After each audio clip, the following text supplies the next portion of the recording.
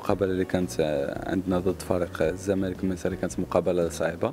اللي صعيبه بزاف آه، لا سيما بالحكم ديال الفريق ومتمرس ومعروف افريقيا.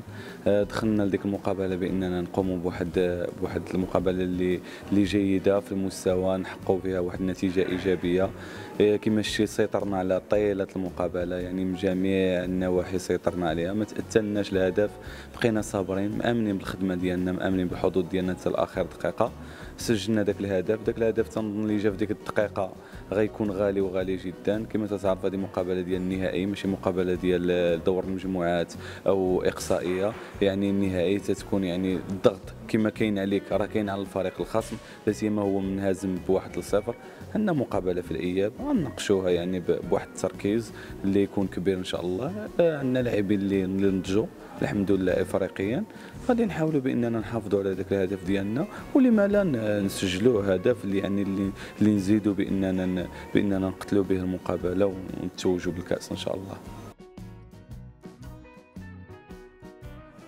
وتنظن بأن اللي تيقول هذه الهضرة هذه غير الفروق اللي تتجي وتتنهزم في بركان. هي اللي تتقول هذه الهضرة هذه آه، إلا أنت لاحظت جميع المقابلات ديال النهضة البركانية عنده واحد السيل جو ديالو عنده واحد الطريقة ديال اللعب. آه، يعني الحمد لله الفريق آه، يعني كان في تحسن من مقابلة لمقابلة.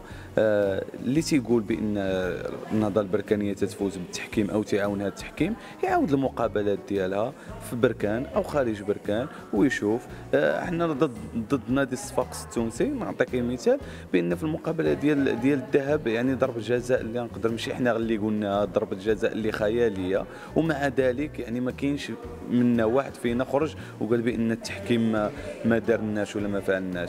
donc آه، يعني كاينين فراقين اللي اللي ما تي ما تيقدوش بأنهم غادي يربحوا النهضة البركانية في الملعب ديالها وأمام الجماهير ديالها فاش تكون في القوة ديالها وتيبغيو يخلقوا التحكيم كسبب بانه راه ما حقا راه ما عطاش حقهم ولا ما داروش. هادشي اللي كاين.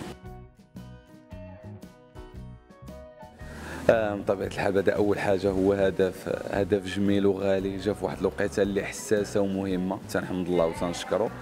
آه، ثانيا الطريقة ديال ديال كما تنقولوا بلغة الكرة ديال الضربة ديال ديال ال coup franc مغايرة على الطريقة مع الطريقة ديال الضربة ديال النمساوي les coups francs. كما تعرف الضربة ديال النمساوي les coups francs تيكونوا comme centre. يعني تم les coups francs directs تيكونوا comme centre. يعني كما تنقولوا حنا بالدارجة ديالنا تيبيرها. جات في ديك اللقطة يعني بدلت الضربة. على حقاش كنا في, التدريب وكان معنا حراس آه، مدرب الحراس المرمى وكان تيشتغل. وكان واحد يعني واحد جوج كورات قلت له أنا نضربهم. وضربتهم مشاو مزيان قال علاش ما تضربش بحال هكا في الماتش يعني تضرب بحال هاد الطريقة هذه قلت له راه ما, ما تجيش. المهم هي هذيك ولا عطاني شي ثلاثة الكواري وداك الشيء قال لي إلا جات في الماتش غير essaie تحاول تضربها بهذه الطريقة هذه راه يجيب فيها الله التيسير داك الشيء اللي وقع حطات ديك البالون شنو نقول لك يعني صافي فكرت قلت علاش ما نضربهاش بهذه الطريقة هذه؟ حنا في demi-finale والفرقه شنو؟ هي قلت هي غتمشي في السماء هي غتمشي في ال poteau الحمد لله داك الشيء اللي كتب يعني كانت واحد la précision اللي مزيانة اللي مشات يعني م cadrée الحمد لله وتسجلت. آه، أول حاجة تنبغي نشكر الجماهير المغربية كاملة اللي ساندتنا. يعني من بداية المقابلة حتى لتأخير المقابلة اللي كانت بقلوبها معنا.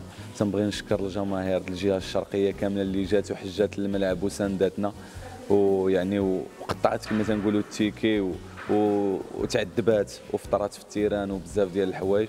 الجماهير البركانية اللي ساندتنا من من أول منافسة حتى الآخر المنافسة. آه، كما شفتوا يعني جماهير كبيرة خرجت ثاني مرة تتخرج في مدينة بركان بعد كاس العرش. الحمد لله آه، قدرنا بإننا نفرحوهم غير شوية. مازال واحد شوية ديال الفرحة اللي خصها تكمل إن شاء الله هي نجيبوا الكأس من مصر. واللي نبغي نقول واحد الميساج لجميع اللاعبين اللي منهم حتى أنا بإننا نركزوا ما ندخلوش مع الفريق المصري في المناوشات وما ندخلوش معهم في ذاك الخبط الكروي. نحاولوا إن شاء الله بإننا نبقاو مركزين على المقابلة ديالنا. 90 دقيقة كاملة حتى نتوجوا بالكأس إن شاء الله.